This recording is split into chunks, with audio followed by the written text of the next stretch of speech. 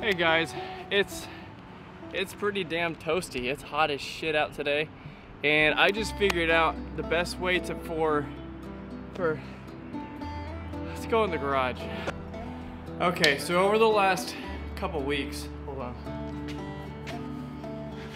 of working on my canoe and getting it up and going, making sure you can float properly, I've had to put it on my car and the result of which has led into, some scratches. This led in. it's hot. Long story short, I was scratching the crap out of my canoe. I had seen another guy on YouTube. I don't remember the name.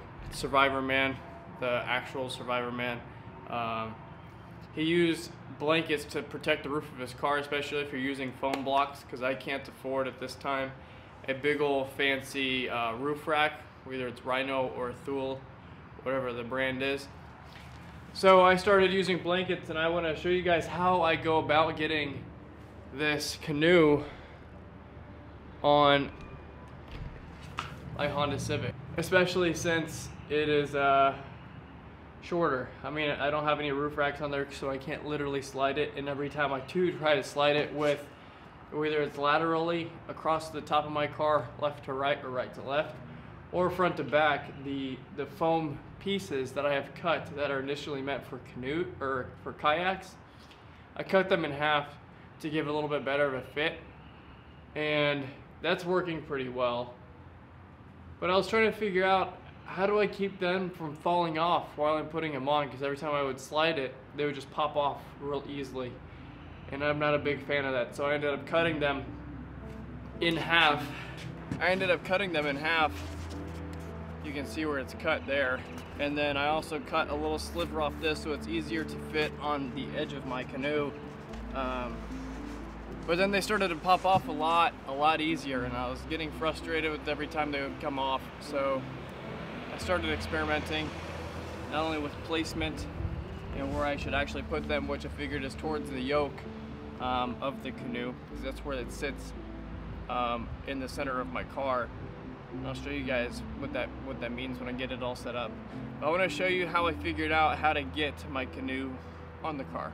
So what I come up with so far is just to drape these blankets across the top just like that and then instead of the the gunnels of the canoe resting on top of my car and scratching the ever-living shit out of it, it'll rest on top of the blanket here And then once I have the canoe on there, I can just lift the, the canoe up a little bit and then take them out on each side. Here's an extra one just for extra safety precautions, extra protective measures.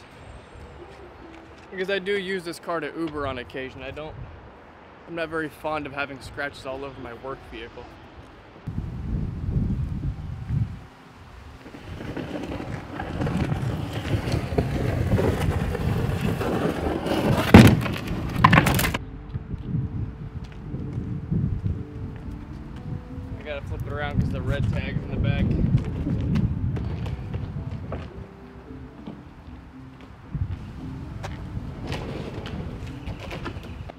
Process is pretty simple to get it up and over. The only downside is, is when I'm putting it on the car I have to walk backwards to it, which is why I typically just stand here, yoke it up. I don't even use the actual yoke because I'm walking forward that way. That's my neck and faces this way. So just gonna yoke this boy up. Baby.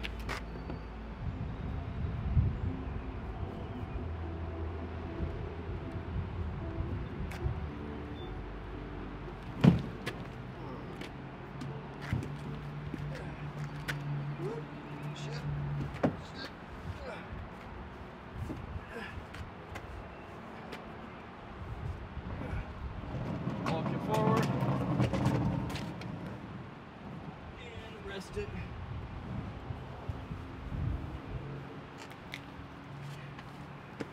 Come out of there. I'm gonna readjust that blanket really quickly. You just pick it up. It's gonna lean a little bit one way or the other. gonna slide it forward, making sure to stay on the car. You're eventually gonna hit the pads. You're gonna turn it, lean it forward some more, keep on going.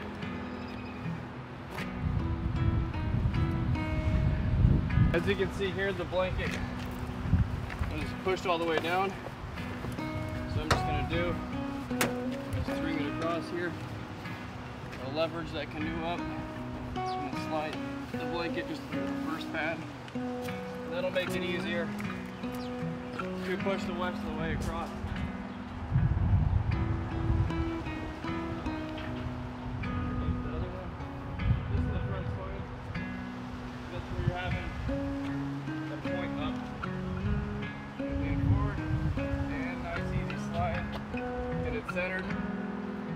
That's pretty damn centered.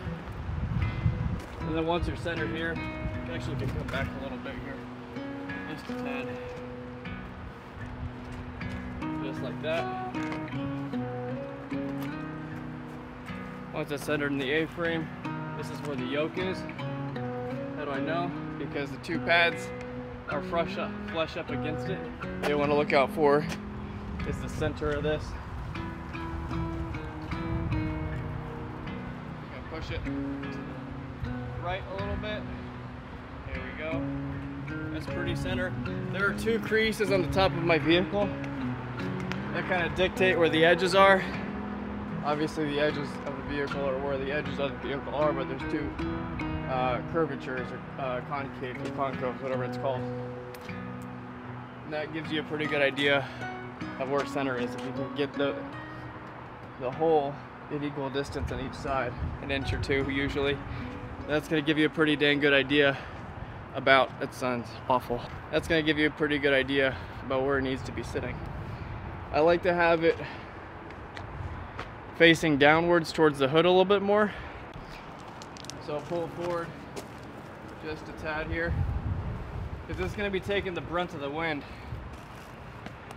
And you're going to want to be able to pull it down a little bit so it doesn't fly up on you here. And that's what's important also about being able to tie it down the front. Whether you're using one strap or two. You can do a triangle from each one each corner. Or like I do it, I just run it through the, the catch from my hood. I just run underneath there. It still catches fine. There's no um, interference with the ability of the hood to actually latch down.